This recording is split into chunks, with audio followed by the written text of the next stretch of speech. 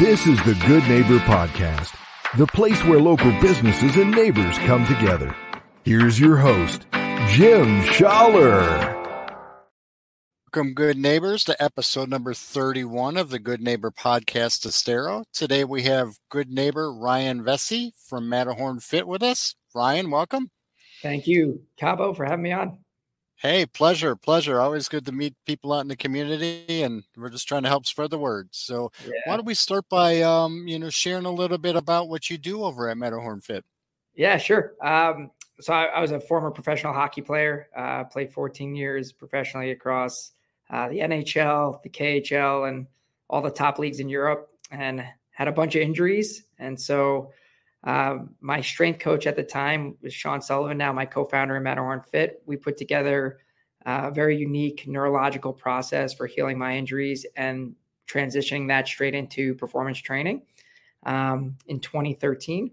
And when we did that, I ended up playing for five more years pain free. And we uh, wow. started Matterhorn Fit in 2018. And uh, yeah, we've developed this Matterhorn method, which is um, a neurologically based approach to pain, movement, and uh, performance. So that is that is that is great. That's a great story. So who'd you play for?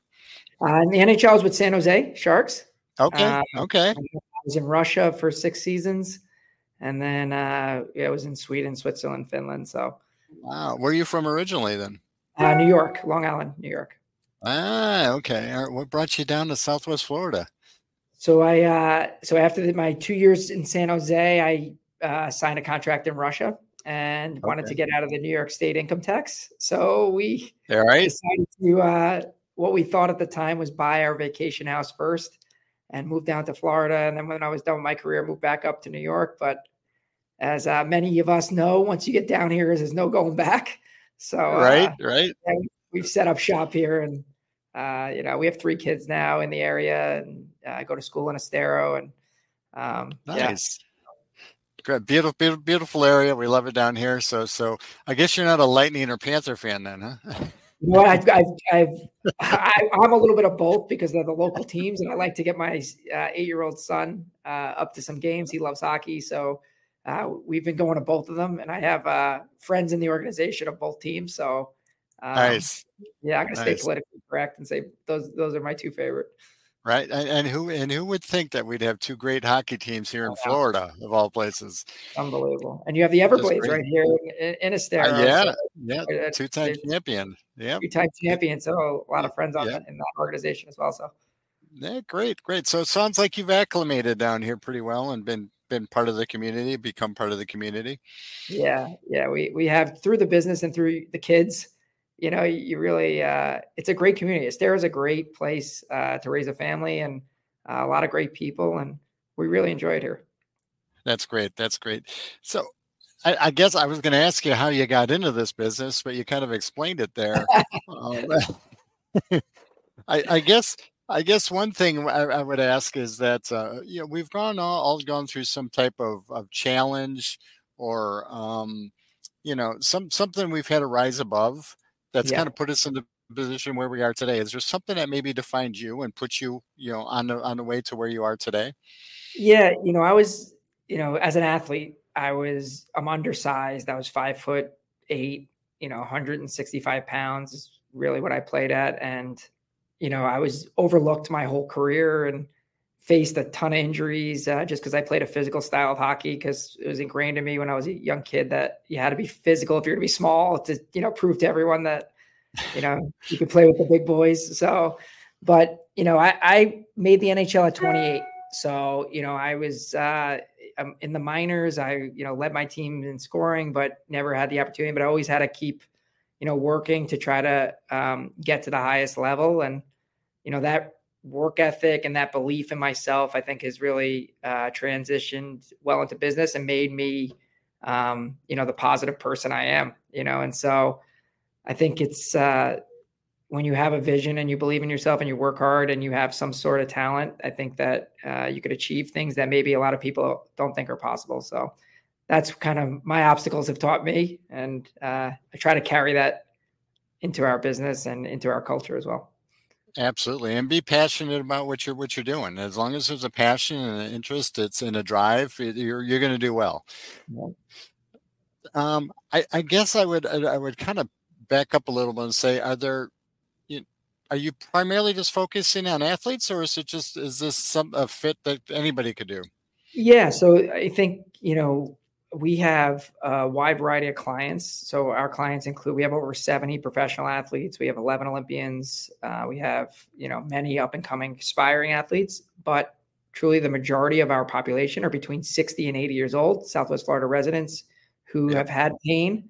Uh, our methodology has been proven to fix pain in two weeks and then we transition them to personal training. So a lot of people who have struggled with chronic pain or uh, are unable to play pickleball and tennis and golf like they want to, uh, we've been fortunate enough to be able to help them uh, get back on track and uh, be the place for them to go. So, yeah, we have a lot of lot of older clients as well, and um, you know, it's it's just as rewarding and fun working with them as it is with pro athletes because a lot of these people have tremendously uh, interesting stories and are tremendously focused on getting better the same way a pro athlete would be. Um, and so it's uh, it's really cool to kind of get to know them and have them part of our uh, Matterhorn community. And, and that's and that's yeah it's it's that mindset you know it's it's I grew up playing sports. I, I played basketball and it, it's just one of those things that's always kind of ingrained for you. It's it's the competition. It's carrying that over into your professional life uh, as far as teamwork is concerned and things like that. But but it's always important as you get older like you mentioned to to stay you know fit to be able to you know to be able to do the things you want to do and not just sit around and you know and get old like uh yeah. like many people do yeah so absolutely. are there are, are there any myths or misconceptions within the industry that you know we'd like to bust for some of the people out there? You know, I think uh, you know one of the misconceptions for um, strength training as well as rehab is you know the mind the the techniques or mindset are very different for different people.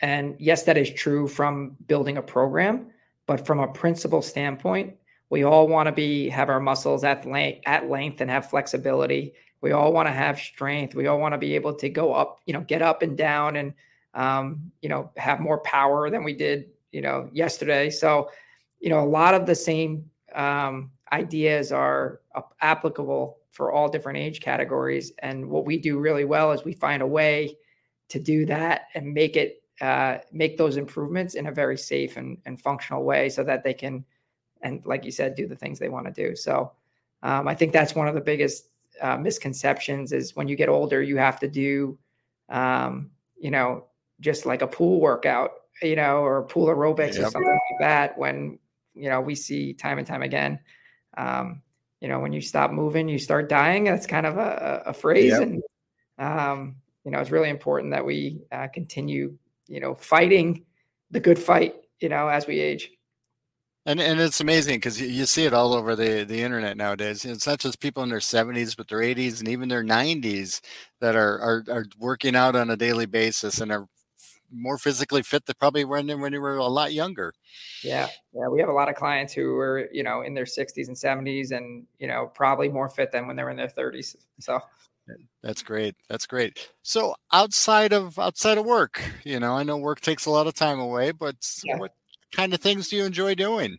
Uh, with my kid, my three kids play sports, so we're uh, you know often find the Vesces at a you know travel soccer game or the the recreational soccer field. My middle daughter uh, figure skates competitively, so she, you know she's at the rink, and my son is playing hockey. So me and my wife are uh, you know they're keeping us busy, and we're you know we're usually split on the weekend, one with uh, one kid, the other with the other two, and so that takes up a lot of our time. But you know, I like to play pickleball when I can. I like to to golf when I can, and um, you know, stay active as much as possible. Definitely work out yeah. every day. And it's a lot easier down here in Southwest Florida because we can be outside year round on top of it. Yep. But great. Is there other? Is there anything else you'd like our listeners to know about Matterhorn Fit and and and you know kind of share with them? Yeah, I think I mean I like to share that you know, our process is so uh, different from a pain relief side than traditional forms. Um, we look specifically at how the brain and muscles communicate from a neurological level and how those parts of the body can absorb the force of movement. And so I think it's really important to, to come in for an initial evaluation to see if you have any parts of the body not communicating with your brain as they should. And if you do, you should fix them immediately because that is what is going to ultimately uh, turn into a tear, uh, a, a, surgery, or something that uh, could put you out for a long time. So um, we we use our process to both heal people, but a lot of people come in as a diagnostic uh, tool to kind of check where they're at and keep them on track. And, and, much like everything, everybody's just a little bit different. So they really need to come in and get analyzed personally because, you know, what may on the outside seem like something common could be something a lot deeper. Absolutely. Very good. So, how would our listeners get a hold of you? Yeah, so if you go to matterhornfit.com, uh, you can you can read more about our process. Um, right there, we have all the information. Uh, our phone number, if you were calling, is 239 676 5342. And uh, our staff is happy to help uh, everyone uh, achieve their goals. Ryan, it's been a been a pleasure getting to know you, and uh, you know, uh, I love what you're doing with the community and helping people stay fit. And uh, hope to see you out there soon. Thank you, Kyle. Appreciate it. Take care. Thanks for having me on. All right. Thank you for listening to the Good Neighbor Podcast Estero. To nominate your favorite local businesses to be featured on the show, go to gnpestero.com. That's gnpestero.com or call 239 296 2621.